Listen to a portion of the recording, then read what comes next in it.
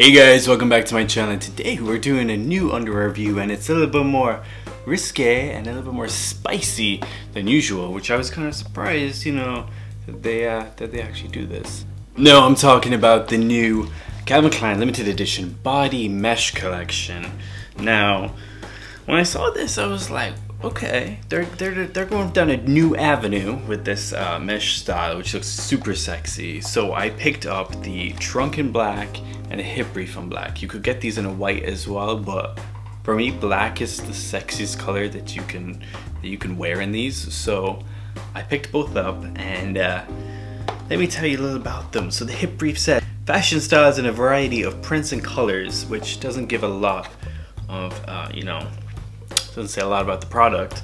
And it says 95% cotton and 5% elastane. And then the trunk says it's soft cotton and spandex styles inspired by archival Calvin Klein athletic cuts. So this is inspired by older generations of Calvin Klein, which also has pretty much 95% cotton as well. So I'm gonna start off with the trunk. Now it looks like this. It's got the same uh, waistband as Infinite. I don't know if you can pick this up on camera. It's like really hard to even see. Well, I will show you guys.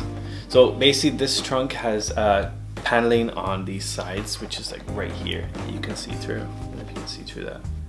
See, it's very see-through on this. So it's just got some like peekaboo like cutouts for the sides. So if you wanna show a little bit of leg, but not the whole the whole butt cheeks, then uh, this is the underwear for you.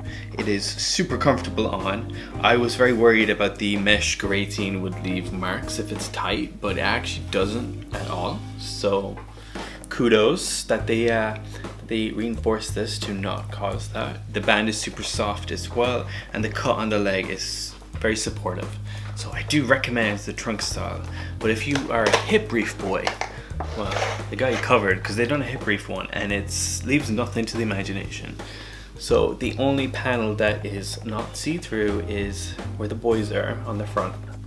But the ass is is like see-through, it's mesh.